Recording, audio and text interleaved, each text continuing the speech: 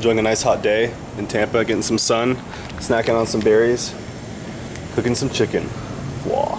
Applewood rub on it and some barbecue sauce. Woo. What's going on YouTube? If you came for the training footage, which is really good, stay tuned. This is just uh, another minute or so, maybe two.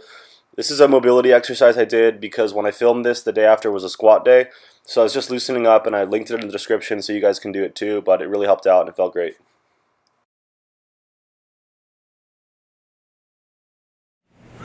Serious pain guys, but you gotta do what you gotta do to be able to squat. Get that longevity. This one I can't do, but I'm gonna do tomorrow in the gym as I'm warming up. So it's Thursday night, pre-squat workout day. I'm gonna wake up in the morning and train at a, a new gym, so it's gonna be some sweet footage. This is uh, the last meal of the night. Um, it's gonna be chicken and rice with a salad, and I may spill over a little bit on the carbs with cereal, but I've got about 900 calories left.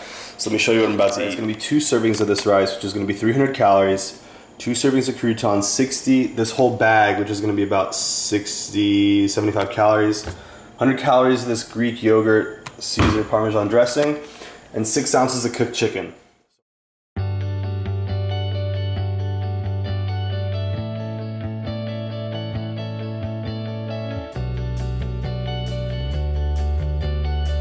That was really good chicken and rice salad, really filling because I had a whole bag of uh, salad. If you guys can't get your macros in, you gotta learn to eat them in a way that you enjoy them. IIFYM works best when you're eating clean foods, whole foods.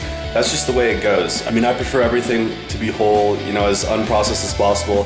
Having said that, I'm gonna eat some cereal now, just a few servings, but I wanna get carbs in before bed. This is a cup of fat-free milk. I'm gonna go ahead and put it in here. So I'm gonna add in a few servings of cereal. These are 120 per, so I'm gonna do four servings, four times, so 124 grams.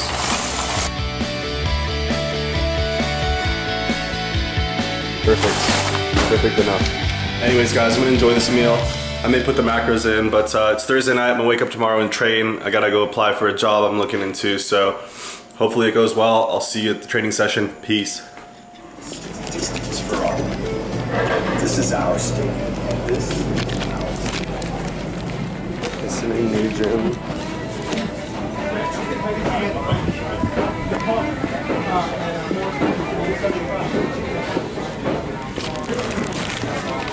Absolutely sickening new gym.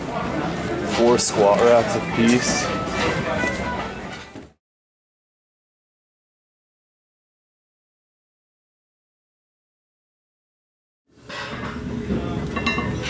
食べる。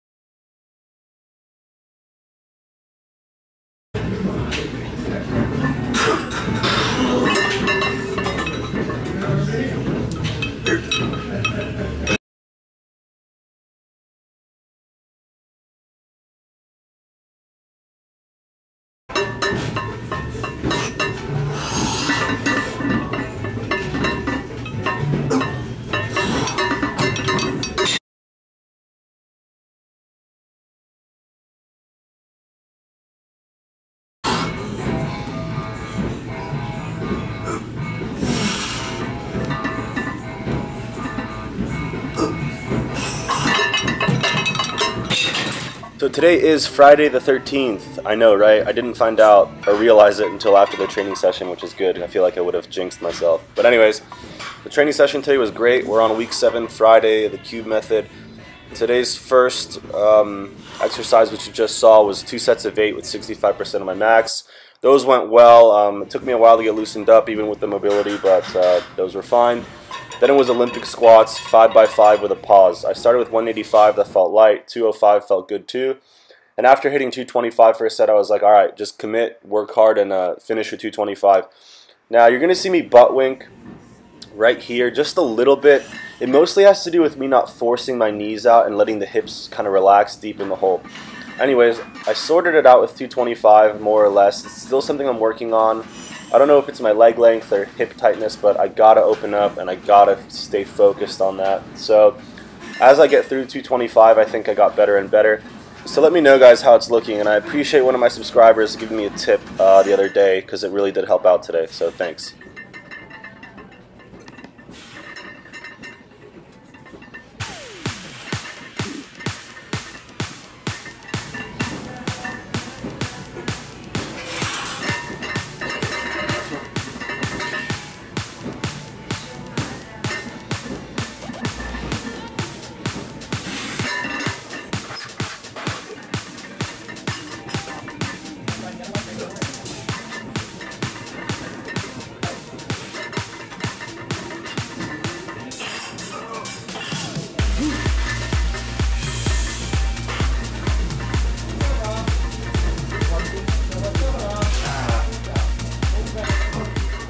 Alrighty, so I was beyond happy to be done with those squat sets. They were really tough, a lot of work. Um, I was spent afterwards, but this leg press was pretty easy. It was four sets of 20. I kept it fairly light.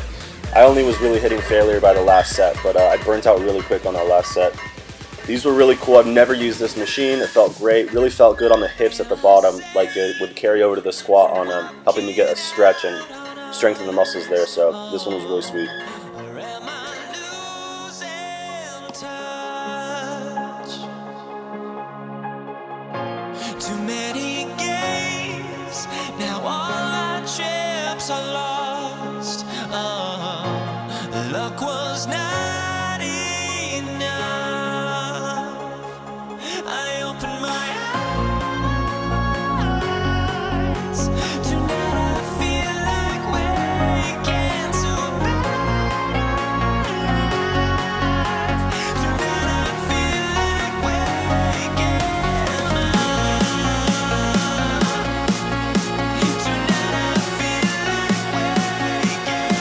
My videos like, you have no legs, train legs. I was like, someone said that.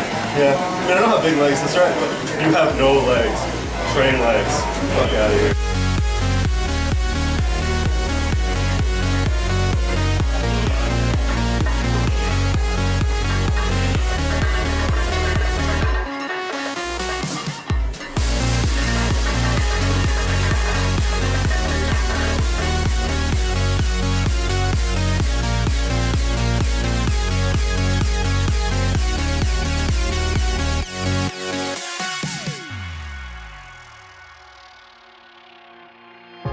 Now here we stand and hover on the edge. Uh, we're just a drop in time. All right, next, the program called for reverse hyper or light good mornings. I chose light good mornings because uh, there's no reverse hyper here, and I'm not a huge fan of that machine. It kind of hurts my stomach, and I don't even see it here in this gym. So I went straight to good mornings with a lightweight, did 85 pounds, 95, then 105. I'm to go ahead and put the next two sets picture in picture just to speed this up. And please let me know in the comment section, guys, what you think of the length of these videos. I personally like keeping everything in the footage because it's good reference for me. It shows you guys exactly what I'm doing.